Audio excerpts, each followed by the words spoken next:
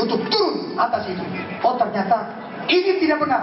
Di sela-sela acara tatap muka dan pembekalan yang dilakukan bersama Danrem 033 Wira Pratama, Kepulauan Riau, Wali Kota Batam menyatakan akan menghidupkan kembali sistem tamu wajib lapor di lingkungan RT dan RW yang ada di Kota Batam. Dalam pembekalan tersebut, Wali Kota Batam berharap kepada semua perangkat di tingkat rukun RT dan RW untuk lebih aktif dalam memantau segala aktivitas warganya.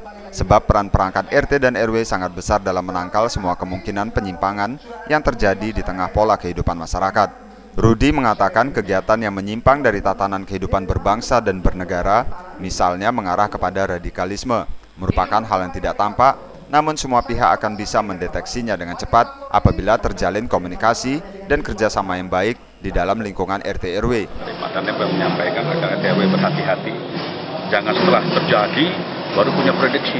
Ini dulu begini, begini, begini gitu. Tapi sebelum terjadi, kalau sudah tahu begini, begini, begini, itu yang perlu kita selesaikan. Penyelesaian ini tentu butuh pemerintah, baik pemerintah daerah ataupun instansi TNI dan Polri. Ketua RT dan RW adalah orang yang dianggap paling tahu tentang keadaan identitas warganya. Untuk itu, Wali Kota Batam menekankan agar mereka tidak bersikap apatis dengan lingkungannya. Selain menjalankan fungsinya sebagai perpanjangan tangan pemerintah dalam melayani administrasi kepada warga, Ketua RT dan RW 100% berfungsi sebagai ujung tombak bagi kestabilan kehidupan berbangsa dan bernegara. Tim Liputan Diamond TV melaporkan dari Batam, Kepulauan Riau.